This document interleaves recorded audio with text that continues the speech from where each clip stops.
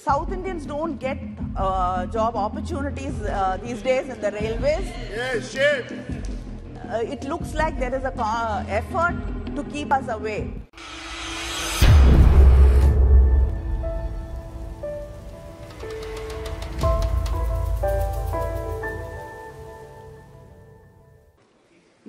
Want you have uh, may set out plans to achieve at least around uh, 8400 metric tons of freight movement by 2030 but today it is only 26% of the total freight movement of the country which the railways are handling. So there's so much of gap there and you're not even handling 50% of the freight in, within the country. So uh, you, there's a huge gap which you have to build across. And uh, the jobs in the railways, as I think uh, Sureshji also, when he spoke here, uh, mentioned about it. I'd like to add to that. There's so, much, so many vacancies. Uh, more than 2.65 lakh jobs are vacant in the Indian railways.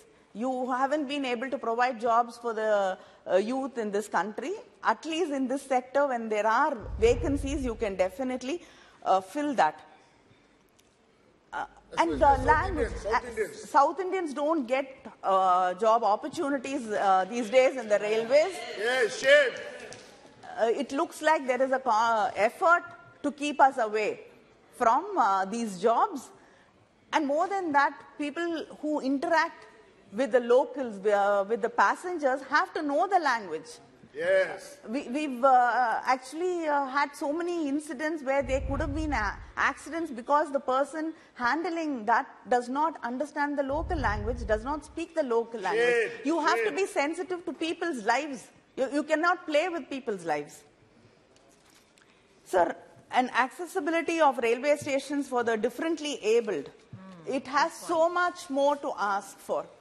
You've been saying that you're more sensitive and uh, uh, it will be considered. But the even the committee has recommended, the stand- Parliamentary Standing Committee on Social Justice and Empowerment recently assessed the implementation of the scheme for uh, the uh, people of, um, with the disabilities.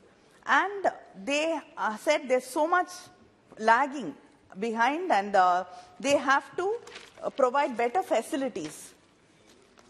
And uh, before two years, before the COVID, there were coaches for uh, differently able people. But now, uh, in quoting uh, COVID as a reason, the, these coaches have been stopped. But and uh, I mean, uh, I think it is high time uh, these coaches are restored and uh, differently able people are allowed to use that. And even when there are uh, special coaches, it is being used illegally by other people. And uh, unfortunately, the uh, differently able people uh, do not have access to these coaches also. So uh, that has to be uh, taken into consideration. And uh, the union government has removed uh, 4% job reservation for the differently abled in many of the um, jobs, IPS, Railway Protection Force, and all that. I mean, in many places, I, I really don't understand, uh, you know, what kind of social justice are we talking about if this is not uh, happening.